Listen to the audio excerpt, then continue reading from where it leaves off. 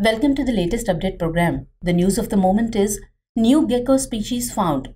A new species of naked-toed gecko, Cyrtopodion, has been discovered in Dahod and Panchmahals districts in Gujarat.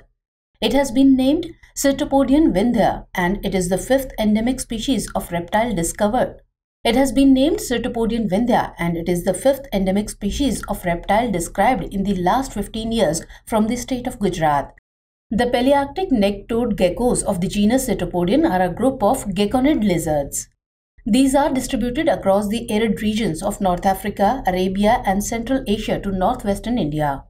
The taxonomic history of the genus Cyrtopodion has been unstable and 23 species are currently recognized with the diversity concentrated in Pakistan and Iran. The species was also observed at several other locations, especially in the hilly areas of Dahod district Panchmahal district and Chota Udaipur district, etc. Indian members of the genus Cyrtopodion are among the most poorly known gekkonid lizards of the country. There are now six recognized species of the genus in India. The newly discovered reptile is a nocturnal species associated with granite boulders. Individuals emerge from the crevices and cracks in the rocks just after dusk and will retreat with the slightest disturbance mostly rupicolous in its habits, but can be found on the ground as well.